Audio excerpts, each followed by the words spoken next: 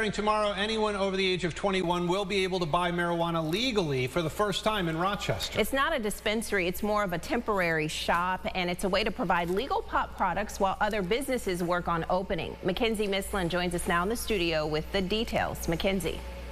Hi, Adam Teresa. Herbal IQ's Growers Showcase is opening up tomorrow, allowing consumers to purchase recreational use cannabis and giving cultivators a place to sell their crops. The operation owners say this will serve as a temporary fix while licensed dispensaries are waiting to open up.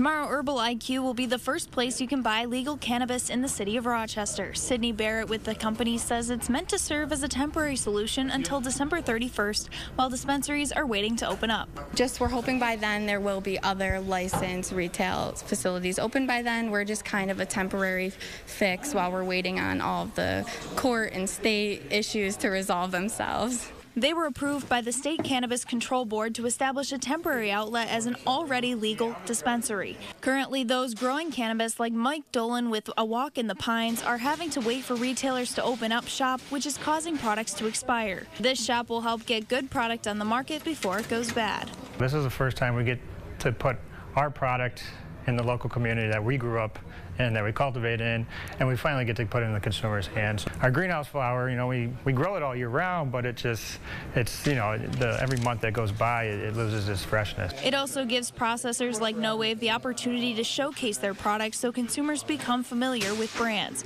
No Wave's owner, Brian Lane, says it's a grower's showcase, not a full dispensary.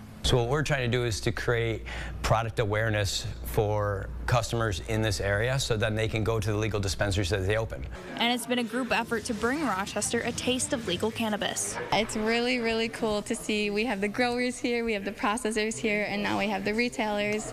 Um, we're all coming together for this hard spot in the industry, and we're trying to, you know, work together to get this community the cannabis they've been waiting for.